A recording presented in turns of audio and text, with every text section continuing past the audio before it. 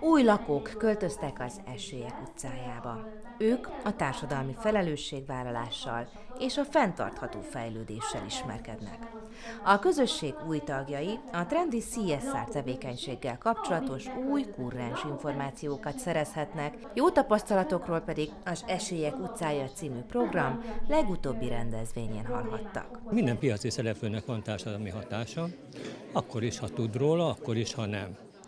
Na most, ha tud róla, és ezt elkezdi menedzselni, akkor a nagy kérdés az az, hogy ezt álságosan teszi-e, vagy valódi elkötelezettségből. És én olvastam egy nagyon jó diplomamunkát a Corvinuson, aminek az volt a cím, hogy CSR-on innen és túl, és valami olyan definíciót fogalmazott meg benne a szerző, hogy a felelős vállalati viselkedés piaci előnyként jelentkezhet.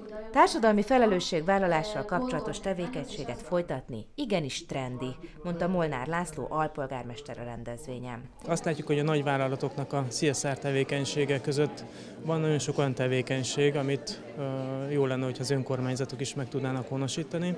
És mi nagyon büszkék vagyunk arra, hogy Új Budán számos olyan tevékenységet végzünk önként vállalt feladatban, ami egyébként, hogyha ezt gazdasági szereplőként tennénk, akkor azt mondanák, hogy CSR tevékenységet folytat az önkormányzat.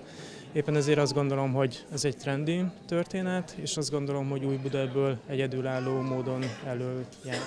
A társadalmi felelősségvállalás jegyében az önkormányzat már 2014-ben létrehozta a családbarát vállalati tevékenységért járó címet. A képviselőtestület pedig legutóbbi ülésén az idén életre hívott felelős vállalkozás díjazottjairól döntött.